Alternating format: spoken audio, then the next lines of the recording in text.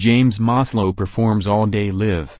You may know James Maslow from Nickelodeon or from Celebrity Big Brother, but music is his passion and he recently come over to perform his sexy new single, All Day, featuring Dominique.